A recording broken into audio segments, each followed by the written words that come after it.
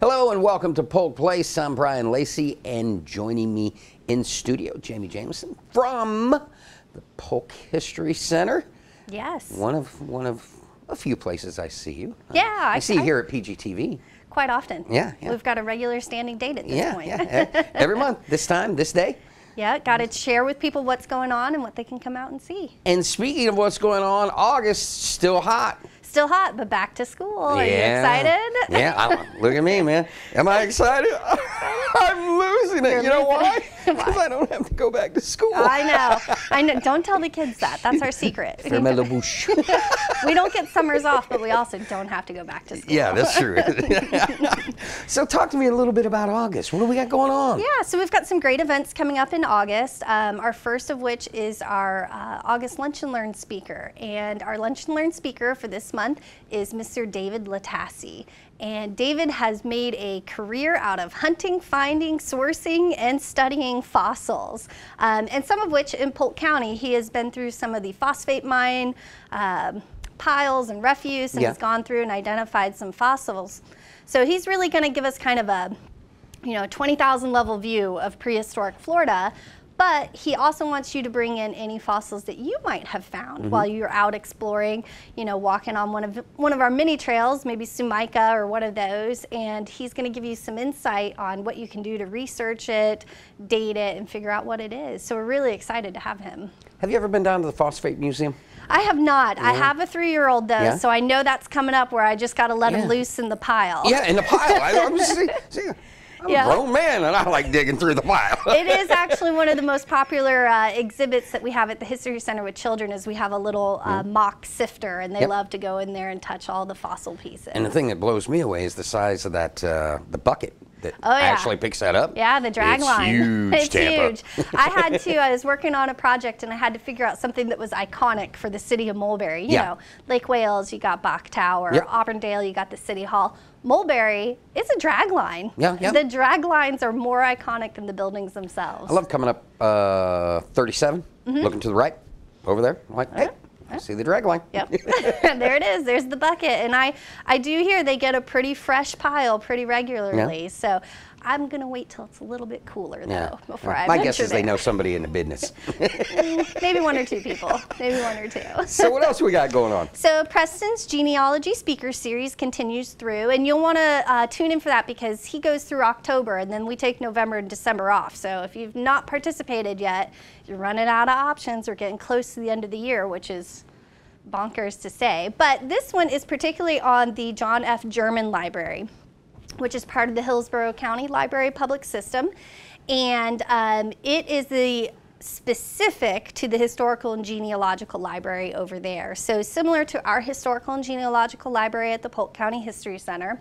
They have microfilm records, um, paper records, family Bibles, all sorts of things that can help um, anyone who's working on their genealogical history.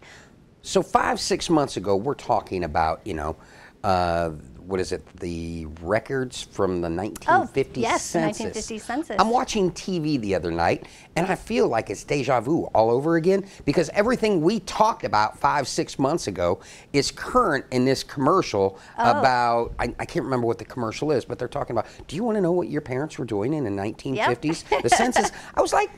They were on my show talking about We've this. al- we've already exactly. covered that. Polk That's History old Center news. already way above. We're on it. top of old news. Exactly. so what else we got going on? Um, so we have also the uh, tour of the History Center. So that is on the third Saturday of the month at 11. And I know I saw on Facebook some people were really upset that they missed the last one. So make sure third Saturday, 11 o'clock. Mark that in your calendar because I cannot emphasize how much you do not want to miss a tour with Bartholomew. Yep. He is one of the most interesting people that I know, and he makes the tour very interesting.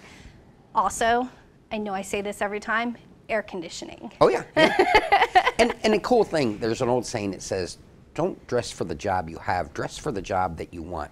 And the way he presents Oh, yeah. that with the, you know, the way he comes out in the, in the hat and everything, very very cool and just a nice little touch to the tour. Yes, and there's nothing more that makes his day than sharing history, and, and he's so personable being around people. So, and that kind of takes us through the month of August. You know, as we roll into the school year, I have to say everybody needs to come visit the Polk Services Gallery and check out our education exhibit.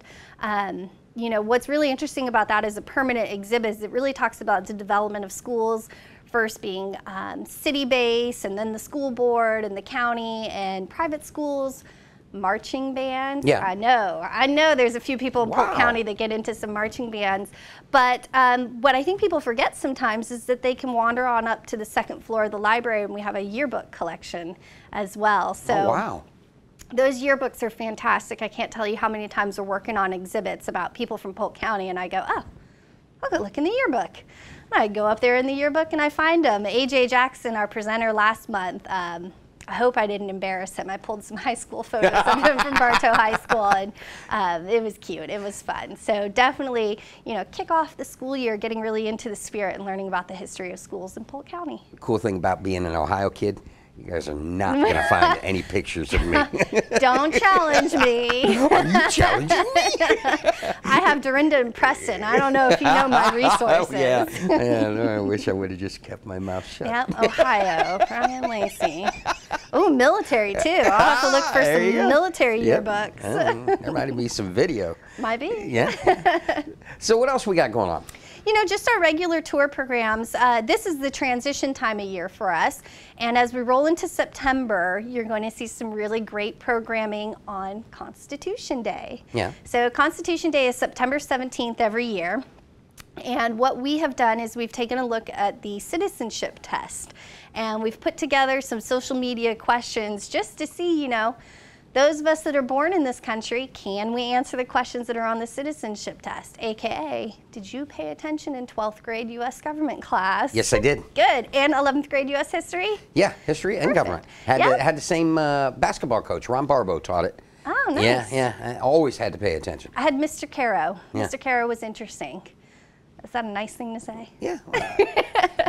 uh, had you gone eclectic, I'd, I, I would have. oh, yes. Yeah, No, I would. Mr. I Caro would was have interesting. But interesting. Yeah, yeah. learned a lot. Um, so, but anyways, you know, if you're not following us on Facebook, um, following the county on Facebook, you want to do that because then you can go to lunch and quiz your coworkers. Yeah. And you'll know the answer, so you can make them go, oh, I need to really study up. But it's really to put emphasis on the fact of the Constitution being our founding document and being this living document that continues to change and evolve um, in order for us to enjoy the democracy that we enjoy. We got about 30 seconds left. Inspire those out there to make the roadie to the Polk History Center and, see. and visit y'all.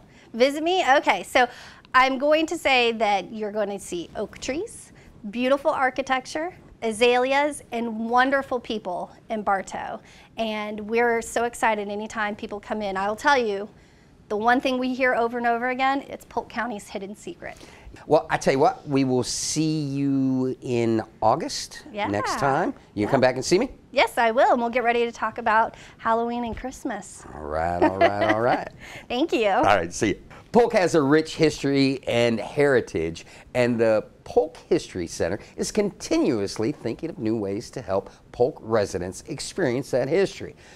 The museum's collection includes natural and cultural objects related to Polk and the greater Central Florida area that represent our history from pre Columbian to present day eras. The artifacts on display at the museum represent individuals, cultural groups, and events significant to the region. Now they're located at 100 East Main Street in Bartow. The History Center is open 9 a.m. to 5 p.m. Tuesday through Saturday. If you need more information about exhibits, events, anything, check them out on the web at polkhistorycenter.org or give them a call 863 534 4386.